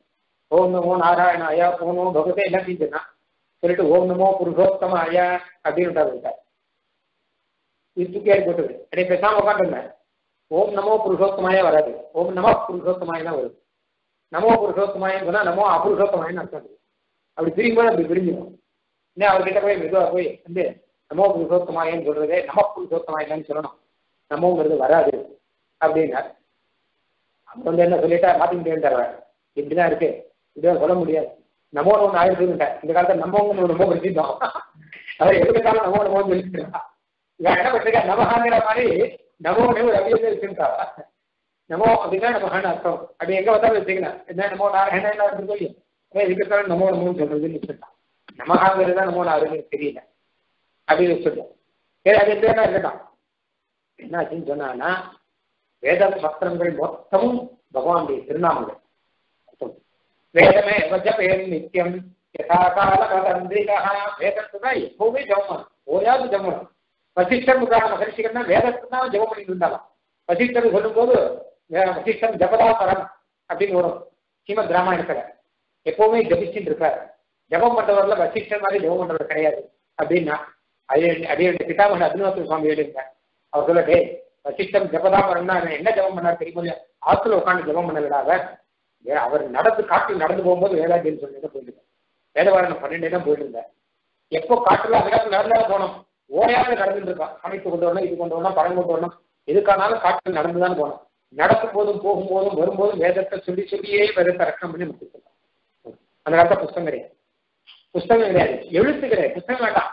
எழுத்துன்னு ஒண்ணு கிடையாது. எழுத்துன்னு ஒண்ணு இல்லாத காலம் ஒண்ணு இருந்தது அந்த காலத்துல கூட நமக்கு இன்னைக்கு கிடைச்சிருக்கக்கூடிய ரிக்வேதம் எதிர்வேதம் சாமவேதம் அதர்வேதம் இதுல இருக்கக்கூடிய எத்தனையோ சாட்டைகள் இன்னைக்கு பார்த்தாலே பிரம் பிரமிப்பா இருக்கு நமக்கு. எத்தனை அத்தனை சாட்டைகள் இருக்கு இன்னைக்கே.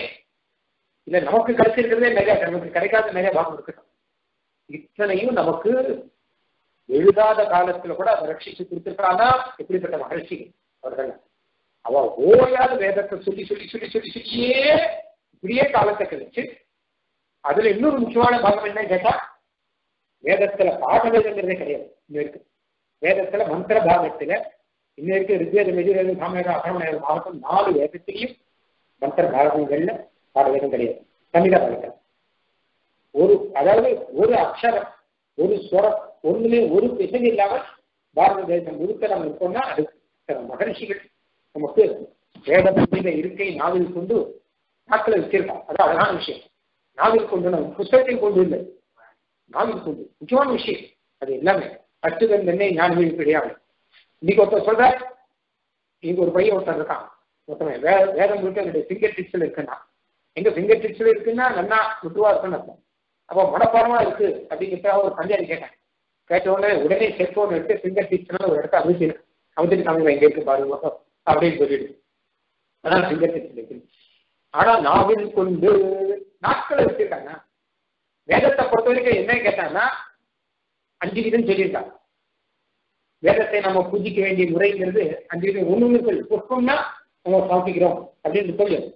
வேதத்தை கொண்டு நம்ம பகவானை ஆராதிக்கிற முறைங்கிறது அஞ்சு இருக்கு அதுல ஒண்ணு வேதத்தை அத்தியனம் செய்தது. ரெண்டு அதை மனப்பாடம் பண்ணி உள்ளுக்குள்ள வைக்க எப்படி உள்ளுக்குள்ள செல்போனுக்குள்ள இருக்கோ அந்த மாதிரி நம்ம மனசுக்குள்ள இருக்கு. எப்படி வேண்டாலும் எடுத்து போட்டுக்கலாம். அப்படிங்கிற மாதிரி மனப்பாடம் பண்ணி உள்ளுக்குள்ள வைக்க மூணு வாயாலே பாராயணம் பண்ணல நாலு அர்த்த விசாரம் அர்த்தத்தை தெரிந்து கொண்டு அர்த்த விசாரம் பண்ணுது ஐந்தாவது அனுஷ்டானம். மூணாவது என்ன கேட்டா தான் பாராயணம் பத்து பேருக்கு சொல்லிக் கொடுத்தேன் அது மூணாவது. எல்லாருக்கும் சொல்லிக் கொடுக்கும் நாலாவது அர்த்த விசாரம் ஐந்தாவது அனுஷ்டானம். இந்த ஐந்து விதமாக வேதத்தை உபயோகப்படுத்தி எம்பெருமானுக்கு ஆராதனை செய்யலாம். அஞ்சு மகான்கள் பண்ணிட்டு இருக்காங்க. ஆச்சாரியர்கள்லாம் பண்ணிட்டு இருக்காங்க. அஞ்சு விதமும் இருக்கு. இன்னைக்கு அதனால இப்ப என்ன ஆச்சுன்னு கேட்டாங்கன்னா மொத்தமும் எம்பெருமானுக்கு உரியது வேதம் பூர்த்தியா சிவன் நாராயணத்துக்கு இல்ல அதனால வேதம் எவஜமே நித்தியம் ஓயாத வேதத்தை தான் ஜென்மம் யதாகாலம் யதா காலம் எந்தெந்த காலத்துக்கு ஜென்மம் யதாகாலம்னா சில சமயத்தில் சொல்லக்கூடாது. நாற்பது வருஷம் அதெல்லாம் அதை விட்டுட்டு மற்ற காலத்துக்கு போகணும். அப்புறம் அது நிற்கும். அத்தன் திருக்கா சோம்பேத்தன் படக்கூடாது. வேதத்தை சொல்றது. நக்கியாகு பரம் தர்மம். இதை காட்ட உயர்ந்த தர்மம் கிடையாது. நான் இன்னொரு தர்மம் பண்ண போறேன்னு அப்படின்னு சொல்லக்கூடாது. எம்பெருமானுடைய திருநாமத்தை எம்பெருமானுடைய சுரூப ரூப குண விபூதி பிரதிபாதிமான நேரத்தை வாயால சொல்றதை காட்ட உயர தர்மம் இது இருக்க முடியும்? வேற இருக்க முடியாது. அதனால் நக்கியா அகுப்பரம் தர்மம். இதை காட்டு உயர்ந்த தர்மம் வேற எதுவும் உபதர்மோ ஒன்ய உச்சதே. இதுக்கு உபதர்மமும் வேற எதுவும் கிடையாது. ஆனா இதுக்கு சமமான தர்மம் கிடையாது அப்படின்னு சொல்லுங்க அதான் வசிஷ்டன் முதலானவர்கள்ல இப்படிதான் சொல்லி மகனிஷியை காப்பாற்றி கொடுத்து மகனிஷிக்கு தர்ப்பணம் பண்றோம். நாம அவனுடைய அதுக்காக தப்பனம் பண்ண முடியும்? அந்த காண்ட ரிஷி தர்ப்பணம் அப்படின்னு நம்ம பண்றோம் மாதிரி அந்தந்த காட்டத்துக்கு ரிஷி உண்டு. ஒவ்வொரு காண்டத்துக்கு ஒரு ரிஷி உண்டு. இந்த காட்டு ரிஷி தப்பனம் பண்றதுக்கான அவளுடைய அனுகிரகம் நமக்கு வரணும். அவ கொடுத்துருக்கா பெரிய ஐஸ்வரி கொடுத்துருக்கா. உங்களுக்கு வேதம் இல்லாட்டா என்ன? நான் தேசியம் சொல்ல வேதம் இல்லாட்டா இருட்டா இருக்க முடியாது சம்சாரி இருட்டு தானே? அப்போ வேதம்னு ஒண்ணு இல்லைன்னா அப்போ இருட்டில் நடக்கிற மாதிரி எதை செய்யணும் எதை செய்யக்கூடாது எது தர்மம் எது அதர்மம் அப்படிங்கிறதே தெரியாமல் என்ன கண்ணாபண்ணம் போயிடும் அதனால இருந்தா எல்லாத்துக்கும் மூலமாக இருக்கு. அப்படிப்பட்ட வேத புனித இருக்கை. அந்த வேதம் பூர்த்தியாக எம்பெருமானை சொல்றதுங்கிறது முக்கிய விஷயம் நான் ஆழ்வார் என்ன சொல்றார் அப்படின்னு கேட்டா ஓத்ததனை வல்லீரேன் நன்று. நீங்க வேதம் அத்தியனம் பண்ணி வேத மக்கள் சொல்றாங்களா? நமஸ்காரம். அதனை மாட்டீரே. இல்லை எங்களுக்கு தெரியலேன்னா மாதவன் பேர் ஓதுவரே ஓட்டிச்சு எம்பெருமான் நான் பேசுறேன் ஏன்னா அதான் வேதத்தினுடைய தாற்பயம் பரமதாத்தம் ஏன்னா வேதமும் எம்பெருமானுடைய திருநாமம் தான் ஒவ்வொரு அக்ஷரமும் எம்பெருமானுடைய திருநாமம் தான் வேத அக்ஷராணி யாவந்தி. ஒரு அக்ஷரமும் ஒவ்வொரு அக்ஷரமும் எம்பெருமானுடைய திருநாமம் அதான் நீங்க என்ன பண்ணுங்க? அதே எம்பெருமானுடைய திருநாமத்தை சொல்லுங்க மாதவன் பேர் ஓதுவதே ஓத்தின்னு சொல்லுங்க. ஓத்துன்னா வேதம். மலையாளத்தில் வேதத்துக்கு ஓத்தன் பேர் இன்னைக்கு உண்டு. அப்போ அதனுடைய சுருக்கு தாற்பயம் திருநாமத்தை சொல்லணும்னு அதான் நீங்க சொல்லுங்க. அப்படின்னு ஆழ்வார் நமக்கு அழகாக எடுத்து கொடுக்குற அதனால அப்படிப்பட்ட வேதம் அப்படிங்கிறத நம்ம புரிஞ்சுக்கணும். இப்ப வந்து இந்த கீதா பாஷ்யத்துக்கு சுவாமி தேசிகன் சாஸ்திரி சந்திக்கல வியாக்கியானம் சேர்த்துக்கிறீங்க அதுல அவர் வேற படிக்கிறார். சில பேருக்கு சந்தேகம் வரும். வேதத்துல நாராயண மாத்திரம் சொல்லலையே. இன்னும் எத்தனையோ தேவதைகள் ருத்ராதி தேவதைகள் எல்லாம் சொல்லியிருக்கு. அதனால அபகிருஷ்ட தேவதா விஷயத்திய அல்ப பல காமிய கர்ம விஷயத்திய இடத்துல காமிய கர்மங்கள்லாம் நிறைய சொல்லியிருக்கு. அதெல்லாம் நமக்கு தேவையில்லை அப்படின்னு இருக்கு. அப்ப அந்த வேத பாகம் இருக்கும். அந்த வேத பாகத்திய அனபியசனீயத்துவம் அதை போய் நாம் சொல்லலாமோ? நான் பரமஸ்ரீ விஷ்ணவன் ஆச்சேன் நான் இவை பிற தேவதைகளை பற்றி சொல்லக்கூடாது அப்படின்னா அப்போ ருத்ரம்னே ஒரு பாகம் இருக்கும். வேதத்துல. நமஸ்தே ருத்ரம் அந்யவ உதோ தைஷ வேணுமாக ஆரம்பிச்சு இப்போ நான் சொல்லலாமா? அந்த மாதிரி காமி கர்ம விஷயமாக நிறைய இருக்கு. இந்த இதுவும் கூட காமி கர்ம விஷயம். சத்தருத்ரிய ஹோமத்துக்காக வந்தது தான் இல்லை அப்போ அதை நான் சொல்லலாமா? வைஷ்ணவனாக அதை சொல்லக்கூடாது அப்படின்னு கேள்வி வரைச்ச அதுக்கு எம்பெருமானார் பதில் சொல்றார் அப்படின்னு ஆரம்பம். என்ன பதில் சொல்றாருன்னா சவிபூதேகே பகவதா. வைத்தியமா நினைக்காத இது மொத்தமுமே பகவானுடைய திருநாமம் தான். ருத்ரங்களே பகவானுடைய பூட்டியை சேர்ந்தவர் தானே. அதனால அது மூலமாக பகவான் ருத்ரனையும் நம்ம முன்னாடியே பார்த்தோம் இல்லையா? தெய்வங்கள் தெய்வங்களை நிலைநாட்டினார் எம்பெருமான் தான் அப்படின்னு ஆழ்வார் சொல்றாரு இல்லையா? அப்போ அந்த ரீதியில நாட்டினான் தெய்வம் எங்கும் அப்படின்னு சொன்ன சொன்னது. இங்கே ஆழ்வார் அது தெய்வ நாயகன் தானே அப்படின்னு தெய்வத்துக்கு நாயகமான எம்பெருமானே தெய்வங்களே தெய்வங்களா ஆக்கினான் அப்படின்னு சொல்றபடினால அது அவருடைய பெருமை தான் பெருமானுடைய பெருமை தான் ருத்ரனுடைய பெருமை இல்லை. பெருமானுடைய இந்திரனை பற்றி சொன்னாலும் இந்திரனுடைய பெருமை இல்லை. ஏன்னா இந்திரனுக்கு அந்த ஸ்தானம் கொடுத்ததே பெருமான் தான் அப்படின்னு ஒரு கதையை வேதம் சொல்லுது.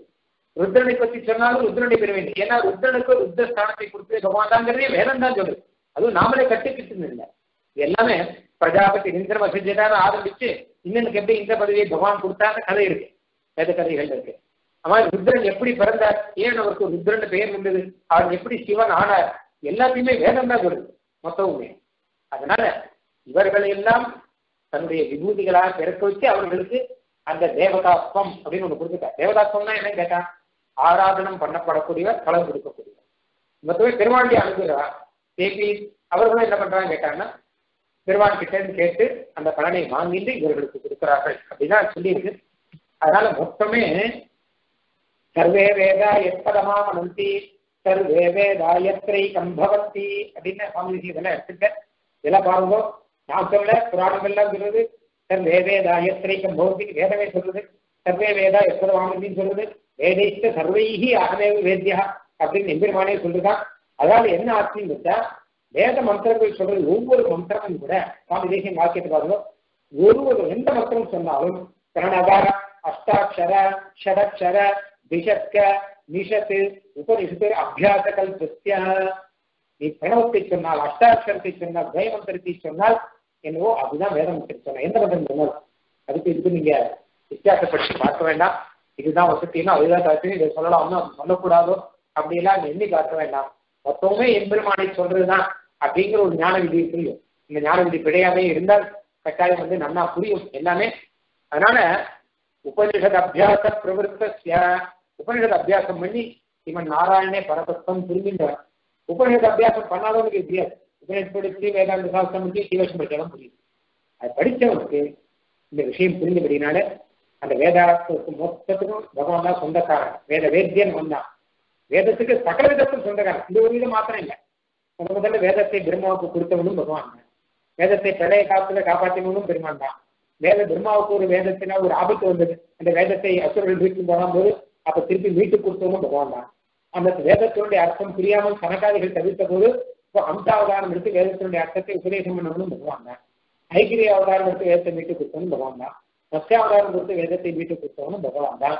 அதுக்கப்புறம் வேதத்தினுடைய அர்த்தத்துக்காக பகவத்கீதை உபதேசம் பண்ணவனும் பகவான் தான். வேதத்தினாலே ஆராதிக்கப்படும் பகவான் தான். வேதத்துக்கு கர்மங்கள்னாலே ஆராதிக்கப்படும் பகவான் தான். மொத்தம் மொத்தம் இதுல எங்கேயுமே இன்னொரு சம்பந்தங்கிறதே கிடையாது. ஒண்ணுமே கிடையாது. இது மொத்தமும் இத்தியாச புராணங்கள் சொல்லிருக்கிற விஷயம் தான். அதான் கிருஷ்ணன் உண்மையோடு சொல்றார் வேதைத்து சர்வேகி அகமேவ வீச்சா அது வேதம் மொத்தமும் நான் தான். வேதத்துக்கு சொந்தக்காரன் பகவான் தான். வேற யாரும் கிடையாது. அதனால இன்னொருத்தர் கிட்ட இது கொண்டு போக முடியாது. என்ன ஆனாலும். அதனால தான் ஹரிஹோம் ஹரிஹோம் முதல் இப்படி அவருடைய திருநாமத்தை சொல்லணும். சாமி சொல்ற வேத மாசாங்க அவர் ஒரு பெண்ணா வேத நாயகியா. நாயகினா ஒரு பெண்ணானவள் தன்னுடைய கணவனுடைய பெயரை முன்னாடி விடுவா பின்னாடி விடுறது ஈஷிரா விடுவா பின்னாடியும் சேர்த்துவோம் அந்த மாதிரி இவர் பேர் தான் முன்னாடி பின்னாடி சேர்க்கணும். இன்னொருத்த பெயரை சேர்க்கக்கூடாது. சேர்த்தா கணவன் இல்லாம வேற ஒருத்த பெயரை சேர்த்தா அது எத்தனை அநியாயமோ அத்தனை அநியாயம்.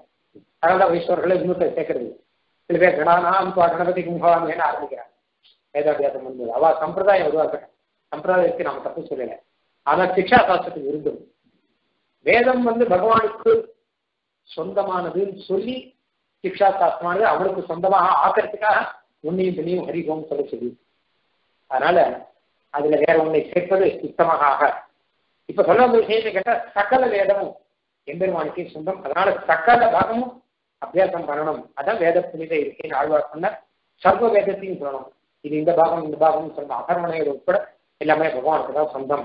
அப்படிங்கிறது ஆச்சு அது சிவாசேகர சாய்ச்சிருக்கார் சுவாமி தேசிய தாத்பரிய சாய்ச்சிருக்கார் இந்த இடத்துல வேத புனித இருக்கை அப்படிங்கிறத நம்மாழ்வார் திருவிழா அமைச்சிருக்கார். அதை பகவத் சுரூப ரூப குண விபூதி பிரதிபாதகமாய் பரிசுத்தமான நிலை சொல்லி அப்படின்னு சொல்லியிருக்கார்.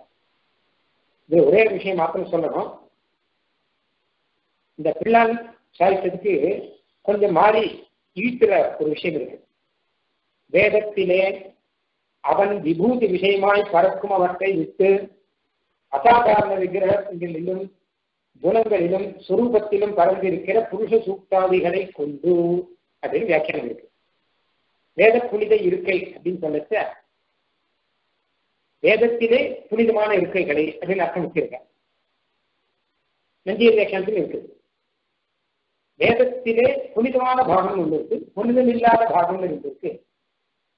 புனிதமான பாகம்ங்கிறது புனித சுத்தாதி பாகம் புனிதம் இல்லாத பாகம் அப்படிங்கிறது மற்ற கர்மானுஷ்டானங்களை சொல்லக்கூடிய பாகங்களும் விபூதி விஷயமாக ருத்ரம் முதலான பாகங்கள் சொல்லி இதெல்லாம் புனிதம் இல்லாத பாகங்கள் அதனால வேதத்திலேயே புனிதமானது புனிதம் இல்லாததுன்னு ரெண்டை வச்சுட்டு இதை விட்டுட்டு அதை சொல்லுகிறவர்களாக இங்க மேவி சொல்லுமடியார்கள் இருக்கார்கள் என்பதாக ஒரு வியாக்கியானம் அதுல இருக்கு.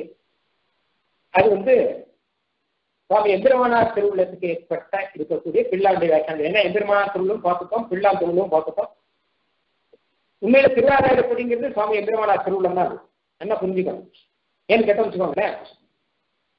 இப்போ இப்போ அந்த வீட்டினுடைய தாற்பயம் சொல்ல போறேன். வீட்டினுடைய தாற்பயம் வேற. கண்டிக்கிறதுக்காக சொல்லல. அதனுடைய ஒரு தாற்பயம் வந்து அது சொல்ல போறேன். இப்போ வந்து நந்தியர் வந்து ஒன்பதாயிரம் படி வியாக்கியானம் பண்ணார். அது நந்தியர் தன் கையால் எழுதலை. நந்தியர் சொன்னதை கேட்டு அவருடைய சிஷ்யர் எழுதின அதை நந்தியர் சாட்சன் சொல்லிடுவோம் அது மாதிரிதான் ஈடு முப்பத்தாறாயிரம் படி வந்து நம்பிள்ளை அருளினான்னு சொல்றோம். ஆனா நம்பிள்ளை தன் கையால் எழுதுறது நம்பிள்ளை சொன்னதை காலட்சேபம் கேட்டு அவருடைய சிஷ்யர் எழுதின அதான் நம்பிள்ளை சாட்சன் சொல்லிடுவோம் அதே மாதிரிதான் திருவாராயிரப்படி சுவாமி ராமானுஜர் காலட்சேபம் சொன்னதை கேட்டு பிள்ளான் எழுதினார். உண்மையில் இது ராமானுஜர். அந்த படியில் பார்த்தா இது ராமானுஜர் காய்ச்சல் தான் சொல்லணும் வேற சொல்லக்கூடாது. இன்னும் சொல்லப்போனா ராமானுஜர் நியமிக்க இவரெல்லாம் அவரை நியமிக்கல. நீங்க பண்ணும்போது சொல்லல. அந்த சிஷியரை நியமிச்சு நீங்க பண்ணும்போது சொல்லல. அவ பண்ணினப்புறம் அவ உடனே ஏத்துக்கல. அதெல்லாம் வேண்டாம் இருக்கட்டும் அப்படின்னு விட்டா. இல்ல நஞ்சியை சொன்ன உபயோக படியில பார்த்து வெள்ளத்துல வெட்டி வேற கதை. நம்பிள்ளை பண்ண நம்பிள்ளையே வந்து இது வேண்டாம் சொன்னான்னு கதை. ஆனா ராமானுஜர் என்ன பண்றான்னு கேட்டா தன்னுடைய சிஷ்யருக்கு பகவத் மொத்தத்தை மொத்தத்தையும் காலட்சேபம் சொல்லி கொடுத்து அந்த பிள்ளாருடைய அனுபவத்தை பார்த்து அவரை தேர்ந்தெடுத்து நீர் திரு ஆறாயிரப்படி பண்ணுங்க அவரை நியமித்து அவர் திருவாராயிரப்படி பண்ண அதை தான் கட்டாட்சம் பண்ணி இதை காலட்சேபத்தில் இருக்கிறது கட்டாட்சம் பண்ணி. அப்போ இதை ராமானுஜர் பண்ண சொல்ல வேற பண்ணுறது முடியும் அதனால பிள்ளாருடைய வியாக்கியானம் பகவத் ராமானுஜர் திருவிழத்தை அதிகரித்து இருக்கு அதை நாம இப்பவே பார்த்தோம். எப்படி அதிகரித்து இருக்கு அப்படிங்கிறத. அதனால அதுக்கு இதை கடா காலட்சேபத்தை வைக்கணும் அப்படின்னு சொல்லிட்டாங்க இது ஒரே ஓலைதா இருந்தது. அதனால அதை பிள்ளார் கையிலேயே கொடுத்துட்டார். இதை காலச்சக்கரம் சொல்ல வேண்டியது சொல்லி கடைசியில உபய சிம்மாசனாதிபதி ஆக்கி பகவத்கீதை சிம்மாசனாதிபதி ஆக்கி பிள்ளாட அவர் கையில் இந்த ஓலையை கொடுத்துட்டு எல்லாரும் இதை காட்சியம் பண்ண வேண்டியதில்லை. இது பிள்ளார் மாத்திரம் இருந்தபடினால பிள்ளாம் பரம்பரையில வந்த பகவத் விஷயத்துல இது வரும். ஸ்ரீரங்கத்துல வந்து எம்பார் பரம்பரையில வந்த பகவத் விஷயத்துல கிடையாது. அவர்களுக்கு விஷயங்கள் அதாவது திருவாரூர்படியில் இருக்கிற விஷயங்கள்ல எத்தனையோ விஷயங்கள் மற்றதில் கிடையாது. மூலாயிரப்படியும் இருபத்தாலாயிரப்படியும் கிடையாது. திருவாரூர்படியில் இல்லாத விஷயம் அதில் இருக்கும். அது விஷயம் வேற. ஏன்னா இது ஆறாயிரப்படி தானே. அது ஒன்பதாயிரப்படி இருபத்தாலாயிரப்படி ஆச்சு முப்பத்தாறாயிரப்படி ஆச்சு அதுல இருக்கும். ஆனா ஆச்சரியம் என்ன கேட்டா இதுல இருக்கிறது இல்லை. எத்தனையோ விசேஷமான விஷயம் ஏன் இல்லைன்னா திருவாரூர்படி அது இல்லை. அந்த பரம்பரைக்கு வரல. திருவாரூர்படி பரம்பரையாவது பிள்ளான் எங்களாழ்வான் நடாதுரம்மாள் அப்புள்ளார் சுவாமி தேசிகன் இவருக்கு மாத்திரம் தான் வந்திருக்கு. ஓரான் வழியா வந்து இது ராமானு நல்லா படிக்கும் ராமானுடைய வியாக்கியானம் வருது அப்ப அப்படி இருக்கும்போது இந்த பேதங்கிறது சாதாரணமா வரும்.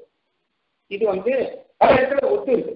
அச்சு ஞானகிரி பெரியாமே கேட்டேன் பக்தி மார்க்கம் தப்பாமே பிள்ளைங்க கேட்கறதுக்கு மத்திய ஏன்னா எல்லாரும் ராமானுஜர் கிட்ட கேட்டு அதனால அது வரும் சிம்பாந்தவர் பகவத் ராமானுஜர் கிட்டே மொத்தத்தையும் கேட்டார் அதுவும் பகவத் விஷயத்துக்கு விசேஷமான அனுபவத்திலே ராமானுஜர்கிட்டேயே அவர் வந்து பாராட்டு பெற்றார். அதனால ஒன்றும் குறவில்லை ஆனா கூட இந்த பாகத்தை பார்க்கும்போது விபூதி விஷயமான வாக்கியத்தை சொல்லாமல் சொர்க்க விஷயமான புருஷதாச்சாரை சொல்லும் போது அப்படிங்கும் போது அப்போ எம்பெருமானாருடைய திருவுள்ளமும் பிள்ளாருடைய திருவுள்ளமும் கொஞ்சம் மாறுபட்டு இருக்கிறதாக நம்ம பார்க்கிறோம் நாம வந்து சரியா புரிஞ்சுக்கணும் அப்படின்னா சக்கன வேதமும். அதனால ஒருவேளை இந்த சம்பிரதாயத்துல சின்ன வித்தியாசம் இருந்தா வருது? அப்போ வேத தேசத்தை இரண்டாம் பட்சமாக கருதுவதற்கு காரணம் இதுவாக கூட இருக்கலாம்.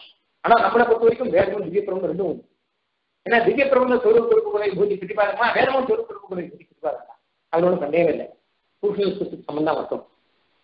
அப்படி பிள்ளார் இப்போ வந்து வீட்டுல சொன்னதுக்கு வேற ஒரு தாக்கம் சுவாமி தேசிகன் என்ன கேட்டானே எப்பவுமே தப்புன்னு சொல்ல மாட்டேன் எந்த ஆச்சாரியம் சொன்னது தப்புன்னு சொல்ல மாட்டார். தப்பு கிடையாது. அவரை பொறுத்த வரைக்கும் சொல்ல மாட்டார்னா அவருடைய ஔதாரியம் மாத்திரம் இல்லை. சுவாமி தேசியனை பொறுத்த வரைக்கும் ஆச்சாரியர்கள் தப்பு சொல்லல. எந்த ஒரு இதுவும் இல்லை.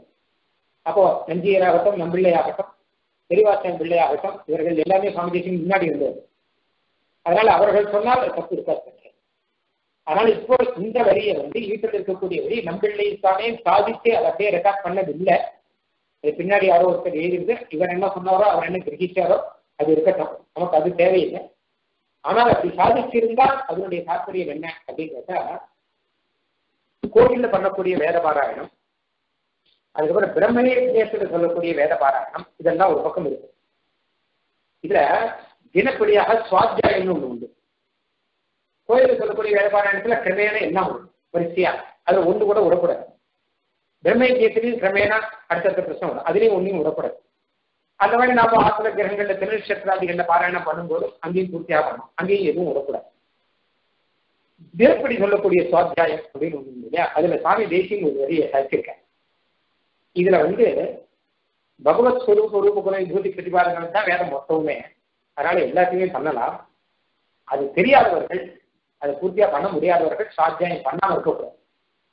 அவர்கள் புருஷ சூக்தாதிகளையாவது பாராயணம் பண்ணணும் எம்பெருமானை சாட்சாத்தா பிரதிபாதனம் பண்ற புருஷ சூக்த உபனிஷத்துகள்லாம் சொல்லி அது சாத்தியாயத்தை சொல்லலாம். ராமாயண பாராயணம். சாத்தியாயத்துல என்ன கேட்டா ராமாயண பாராயணம் முதலானதெல்லாம் வரும். ஒண்ணும் கேட்டா அனத்தியன காலத்துல என்ன பண்றது? கேட்டா அப்ப கூட திவ்ய பிரபந்த பாராயணங்கள்லாம் வரும். அது விட்டு போகுது. அனத்தியனத்தை திவ்ய பிரபந்தத்துக்கு அனத்தியனம் கிடையாது.